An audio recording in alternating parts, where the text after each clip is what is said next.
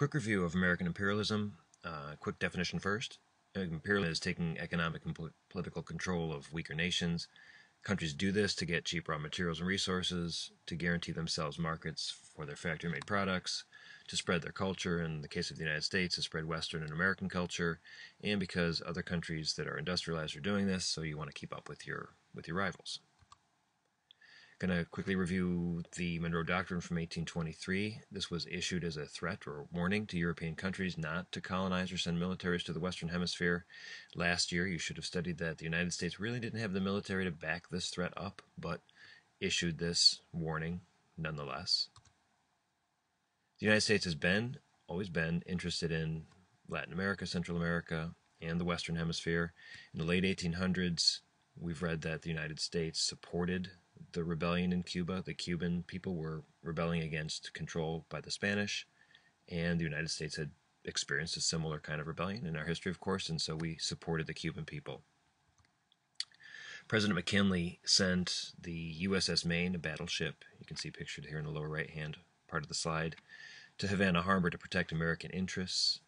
In 1898, the ship exploded. Um, the Spanish were blamed. To this day, we really aren't 100% positive as to what caused the explosion.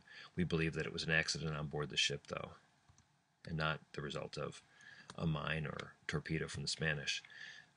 The newspapers of the day, though, were engaged in tremendous competition. Newspapers were big business. This is a time before radio, of course, before television, um, and before movies. And so, although motion pictures had been invented, but people didn't go to see movies like we think of people going to see movies today.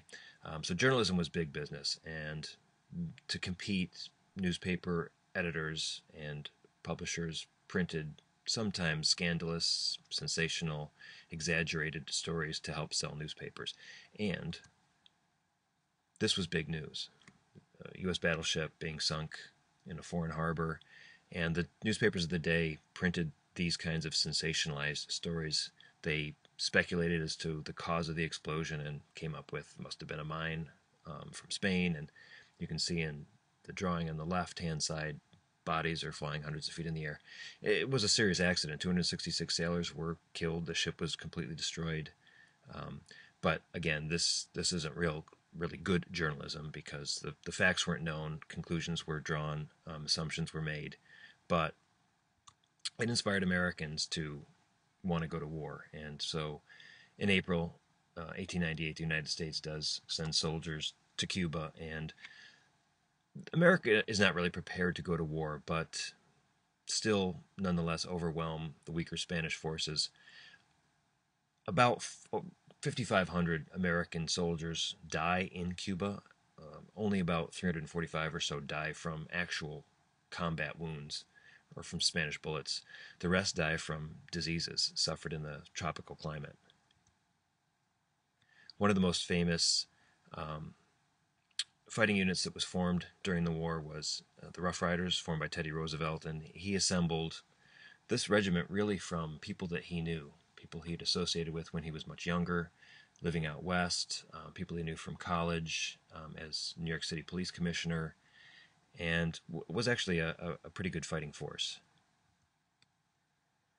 The war lasted for just about three months, a little over three months.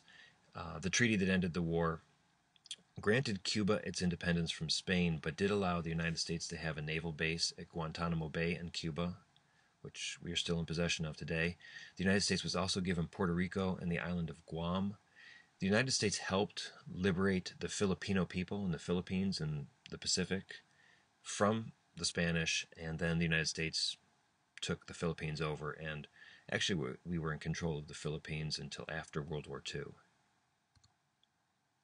In this political cartoon, you see Uncle Sam ordering territory off a menu from the waiter who is President McKinley. So it's clear that the United States now at the end of the 1800s is an imperial power. Not really to the extent that um, some of the European countries, industrialized European countries, were. Those countries had claimed basically all of Africa and a good deal of southern Asia and Southeast Asia. Now, in 1901, President McKinley was assassinated in Buffalo, New York. Teddy Roosevelt, after his um, fighting in Cuba was elected governor of New York State. He was a progressive candidate, he was a reforming candidate, and the politicians in New York State, because he was stirring things up and trying to root out political corruption, wanted to get rid of him as governor, and they thought it would be best if they could bump him up to the vice presidency. So they encouraged him, they actually kind of forced McKinley to choose him as his vice presidential running mate uh, to get him out of New York State. They thought that if he was vice president, he would have absolutely no political power at all within the Republican Party. After McKinley's assassination, of course, he becomes the most powerful politician in the United States and continues to be a reforming politician. We've talked about all that in the last unit. Now, one of the things that Roosevelt is, is most known for is helping to secure the construction of the Panama Canal. This was a 10 year project, and you can see from the two maps here, it drastically, the canal drastically cuts down sailing time from the Atlantic to the Pacific Ocean. The United States actually paid more than $10 million for the canal. We had to pay France about $40 million for all of their construction equipment to use to, to build the canal. 10 million went directly to the new nation of Panama, which we actually helped create also. We supported the Panamanians in a rebellion against Colombia because Colombia wasn't cooperating with our attempts to build uh, the canal through this isthmus. It was a 10 year construction project, 51 miles long. Several locks help bring or raise the water level up through the, the central part of the country and then lower it back down to the, the um, other coast. It joins the Atlantic and the Pacific and again, it, it drastically cuts down shipping time. It takes about 8 to 10 hours, sometimes as long as 12 hours, to travel through the Panama Canal. This is today. Um, but that's just, you know, still greatly faster, so much faster than traveling around the southern tip of South America. You can see from this map that there are a series of locks. This is an interesting view. It's actually a view looking south, from the north looking south. So you see the Atlantic on the, the Atlantic Ocean on the um, left hand side, and then the Pacific Ocean is on the lower right hand side.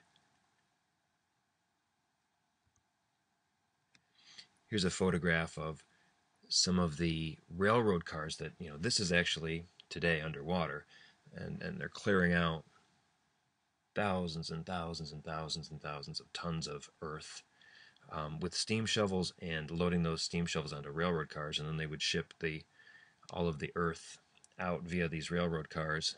All the track, you know, they're still they're submerged.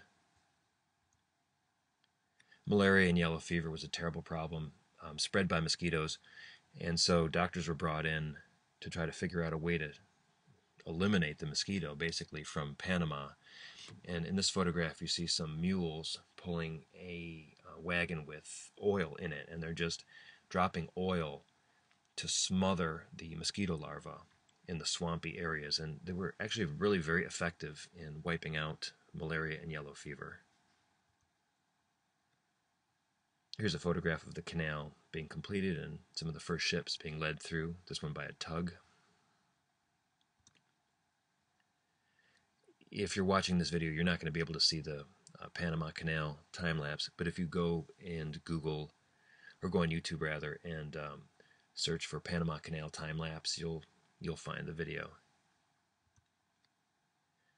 All right, so when President Roosevelt um, begins to, you know, bring the United States into this imperial age, he adds to the Monroe Doctrine, which was a warning for European countries to stay out of the Western Hemisphere and Central and um, Latin America Roosevelt's addition, a corollary is an addition to something. So Roosevelt's corollary to the Monroe, doc- Monroe Doctrine is that not only should European countries stay out of the Western Hemisphere, out of our sphere of influence, but that the United States has a right to actually involve itself in the affairs of Latin American countries. And we're going to do that in order to protect the people, should there be some kind of uprising to preserve law and order. And, you know, again, we're doing this to protect our own interests, the sugarcane plantations that we have, the other um, real estate investments that we have, business investments that we have in those Latin American countries. And the United States is now declaring itself as sort of this international police force. With the Roosevelt corollary, it's really confined mostly to Latin America and Central America. But the idea is that as the United States continues to grow in power, and you know that the country's an industrial power now, on equal footing with Great Britain, Germany, France, um, that we'll continue to grow militarily as well, perhaps, and our influence will be extending beyond just our Western Hemisphere.